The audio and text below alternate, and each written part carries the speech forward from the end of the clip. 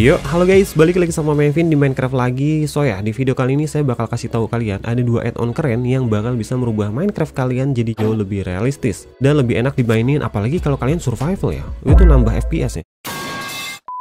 Ya pokoknya gameplay kalian tuh jadi menarik, mata kalian pun termanjakan gitu dengan dua add-on yang keren ini. Gitu guys. Nah, daripada kelamaan kita bakal coba langsung aja deh ya. Oke, squee. Oke, jadi add-on yang pertama di sini guys, udah saya pasang ya. Nah, namanya adalah Realistic Sky and Clouds. Jadi dengan cube map satu ini dia bakal bisa bikin Minecraftnya kelihatan lebih realistis ya. Karena ini cube map terbaik saat ini guys. Waduh, karena yang satu ini tuh udah hampir nggak kelihatan lah. Kubus dari cube mapnya itu udah nyaru banget gitu guys. Jadi kalau kalian paksa lihat itu agak susah ya. Nah, di sini dia juga punya sapek. Uh, ini dia ada Realistic Sun dan Moon terus di sini adalah Vanilla Sun Moon. Kalau kalian suka sama Vanilla Moon, dia bakal ada di, di sebelah kiri. Tapi kalau kalian suka yang realistis, dia bakal ada di sebelah kanan gini ya. Nah, jadi kita bakal coba semua itu realistis ya. Terus juga saya pakai Prisma Default. Ntar kita bakal cobain gimana tampilannya kalau misalkan pakai shadernya, apakah ada pantulannya apa enggak. So ya, mungkin kita bakal coba langsung masuk aja ke mapnya. Oke, kita udah masuk di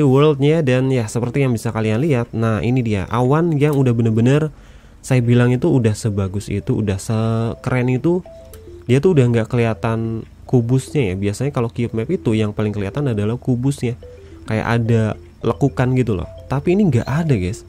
Ini cube map loh sebenarnya. Tapi kalau kalian lihat itu sepanjang saya puterin kayak gini kalian nggak bakal nemuin di mana letak kubusnya. Paling saya bisa bilang di sini nih. Ya tapi kalau di kasat mata sih nggak terlalu kelihatan ya. Oke dari awannya juga dia udah awan kayak di Java ya. Kalau kalian pakai shader BSL mungkin ini agak mirip. Terus juga mataharinya dia apa namanya tuh bulat ya bukan lagi kotak. Terus kalau misalkan kita uh, ubah waktunya menjadi malam bem. Nah langsung bulannya juga realistis ya. Dia langsung bulat juga guys. Awannya juga langsung kelihatan seperti ini kalau misalkan di malam hari ya putih juga karena dia cube map ya. Dia nggak bisa ngikutin perkembangan siang dan malam. Jadi kalau untuk malam dia ya tetap aja warnanya putih gitu. Tapi sebenarnya it's okay lah bagus juga sih ya. Terus juga warna langitnya dia udah berubah jadi merubah warna sky. Jadi lebih apa ya sinematik lah ya. Kalau saya bilang tuh lebih epic gitu Waduh, lumayan sih ya. Bintangnya juga ya sebenarnya bintangnya sama aja, cuman karena ada tambahan dari cube map ini jadi bikin kayak lebih bagus aja sih. Ini sih udah sesuai dengan syarat shader di Java ya. Apa ini orang yang bikin itu ngambil dari Java gitu? Awan-awannya gitu di sama dia di screenshot satu-satu sesuai dengan arah mata angin ya bisa jadi bisa enggak juga atau dia ya saya nggak tahu sih sebenarnya. Nah, ini kalau misalnya kita cobain pakai shader ya guys. BEM. Ini optional aja ya saya nyalain default supaya kelihatan aja sih bedanya. Nah ini mataharinya juga udah ngikutin dengan yang saya modif. Uh, maksudnya yang saya pakai gitu. Dia mataharinya juga dia bulat ya. Shadownya udah mantap sekali. Dan ini kalau kita lihat itu di bagian awan eh di bagian laut air itu bakal ada pantulan dari awannya. Percaya apa enggak? Nah ada ya. Tuh pantulan awannya udah sebagus itu guys dan di atasnya seperti itu di bawahnya juga sama ya sama persis nggak ada bedanya sama sekali. Apalagi shadernya udah bagus udah ada waving dari waternya juga. Wah gila sih semakin keren ya. Ini kalau saya full screen di sini kalian pasti bilang kalau ini di Java. Padahal ini 100% in Bedrock Edition. Waduh sekeren itu emang sekarang Bedrock ya. Cuman sayangnya HP masih rada berat aja sih untuk ngejalanin defaultnya. Ya by the way ini sebenarnya udah bagus untuk awannya udah Yahoo ya kan? Awannya diganti juga udah work sekarang. Jadi kalau udah bisa pakai cube map ditambahin default udah lebih realistis sekarang lebih keren. Seperti di Java Edition kayak kalian pakai BSL atau complement uh, complementary complementary shader. Nah itu dia. Ribet amat ngomongnya. Oke. Okay. ya jadi seperti itulah ya tampilannya. Ini udah udah nggak perlu dikomenin lagi. Udah keren banget udah sekeren itu sip. Nah kita lihat sebelah sini juga sama ya. Pokoknya awan gak usah khawatir dia udah ada pantulannya juga di air. Dan sekarang kita bakal cobain add-on yang kedua yang menurut saya ini sih sebenarnya ya optional juga kalau kalian pengen pakai. Monggo kalau enggak ya udah nggak apa-apa sih. Untuk add-on yang kedua ini ada di sini udah saya pasang namanya adalah RTX Grass. Waduh ada RTX RTX nya ya. Jadi ini sebenarnya kalian bisa pakai untuk dibarengin sama RTX atau kalian pakai default juga bisa. Terus di sini dia ada pilihannya juga mulai dari 128 128 256 uh, uh, 512 sampai yang paling tinggi 1024 mungkin kita bakal coba pakai yang paling tinggi aja nggak sih? Biar aduh. Udahlah nggak usah diurusin. Oke mungkin daripada kelamaan kita bakal coba langsung masuk aja ke worldnya. Dua jam kemudian. Beh mantap wow. gak tuh rumputnya menjadi lebih realistik guys? RTX ya? Waduh ini dirtnya juga yang biasa malah jadi seperti ini guys. Waduh ini dirt yang biasa ya kayak tumpukan apa ya? Kayak tanah yang penuh lumpur ya atau kayak bekas bakaran sampah ya. Jadi kan bawahnya kan kayak gitu ya.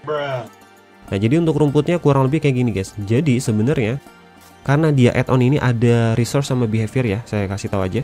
Ada resource sama behavior jadi dia bakalan ngerubah bentuk tanahnya menjadi lebih kayak kayak gini guys. Dia tuh sebenarnya blok baru ya. Dia dipasangin di sini.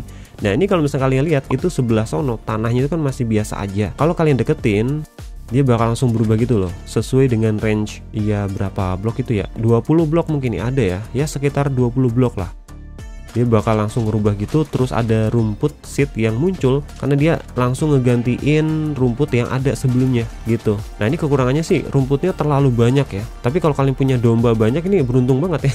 Karena si dombanya itu bakal makan sepuas dia gitu ya. Ya secara looknya emang bagus ya. Rumputnya itu banyak banget cuman agak aneh aja kok sebanyak ini gitu. Ya namanya juga sebenarnya add-on ya. Kalau bisa sih dibikin kayak jarang-jarang itu bakal lebih bagus ya Ya, jadi untuk 1024 pixel teksturnya jadinya kayak gini guys. Ini udah rumput banget sih ya. Apalagi kalau kalian lihat di bagian sini itu kayak ada rumput yang ke sana kemari itu udah sebagus itu jadi kelihatannya lebih realistis aja walaupun sebenarnya dia kayak ada hitboxnya gitu loh tuh jadi berapa blok dari blok aslinya ini kan blok asli ini di bagian bawah dia bakal keluar sedikit gitu nah mungkin sekitar 5 pixel 5 blok lah eh apa namanya ini ya 5 pixel sih sebenarnya terus di bagian bawahnya juga ada ya kan kayak gini. Nah ini udah keren sih.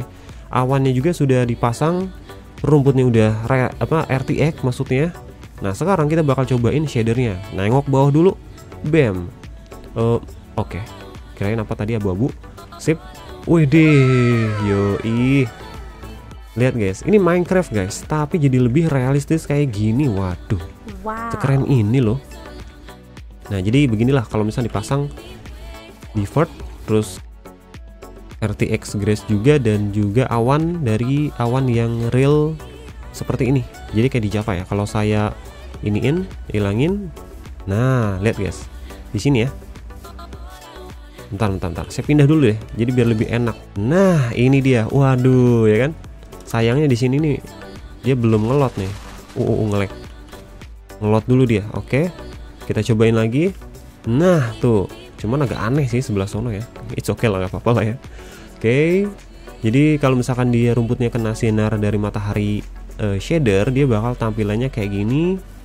Udah bagus lah nggak perlu dikomenin. Sekarang kita bakal coba lihat pantulannya di air dia ada ya.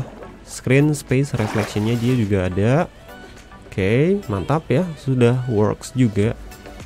Kalau dari jauh ada ya kelihatan juga. Nah dari bawah sini guys. Ya ada juga sih ya mantap keren keren keren. Jadi dua add-on yang satu ini uh, mod juga bisa dibilang ya bakal bisa merubah tampilan Minecraft kalian jadi lebih bagus. Jangan pakai Minecraft yang biasa ya bosen ya. Pakai aja yang ini. Mantap soalnya tuh.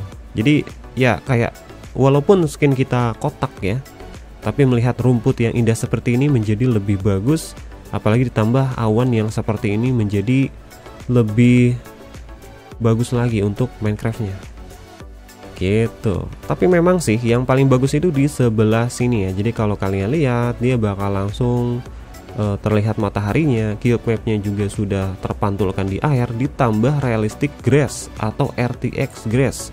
Apa pun itulah yang kalian bisa sebut ini bakal membuat Minecraft kalian menjadi lebih bernilai lebih asik lebih terlihat lebih real daripada Minecraft yang biasa. Walaupun masih kotak-kotak juga ya tapi ini udah lebih bagus sih dan ya kurang lebih itu aja yang bisa saya bahas di video kali ini Jadi teman-teman yang pengen download langsung aja udah tak sediain di deskripsi atau di pin komen untuk link download dari Cube Map-nya, RTX Grace-nya, dan juga Default-nya So ya, buat teman-teman yang suka dengan video saya kali ini, saya minta kebaikan kalian buat like di video ini, share, dan jangan lupa subscribe di channel saya. Oke, saya pamit dulu guys. Bye.